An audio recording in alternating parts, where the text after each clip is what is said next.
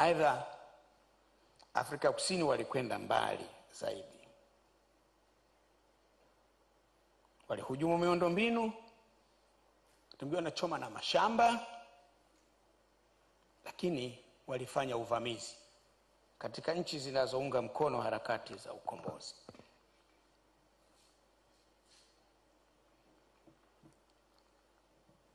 Walifika mpaka Dar es Salaam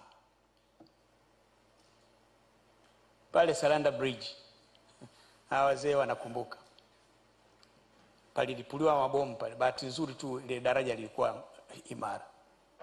Kimakomando wa South Africa waliingia, hata wamefikaje Eh, kuna kitabu chao wana, wanaandika wameandika jinsi walivyosafiri wakaja Kigamboni wakaweka kambi, alafu wakaja pale wakatiga mabomu, lakini daraja halikulipuka. Ndio siri ya kujengwa kituo cha polisi pale, hakikuwepo kabla hapo. Lile jengo la pembeni ambalo ambalo, ambalo, ni, sasa limekuwa ilikuwa ni hoteli baada ya ile incident ndio pakatiwa kituo cha polisi cha Oyster Bay eh, cha, cha Slender Bridge na ile hoteli ikapewa polisi. It was that bad. Kulikuwa na siku wakati ule mnaambiwa msiwashe taa usiku, kwa sababu kuna hofu tu kwamba wakati wote ndege zinaweza kuja kubomu Dar es Salaam, lakini kwa msaada wa makaburu na Ian Smith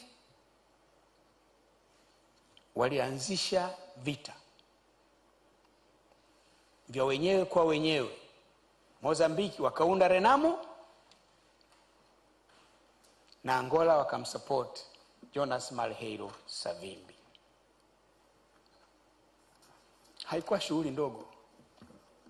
Kwa katika mazingira hayo, nchi hizi ambazo mlitegemea ndizo zingekuwa zinatoa msukumo mkubwa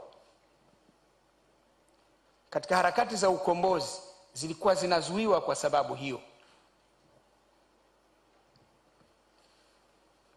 Kwa kuitambua hali hiyo na kwa dhima, dhamira ya kutaka kuongeza kasi ya mapambano, viongozi wa nchi za mstari wa mbele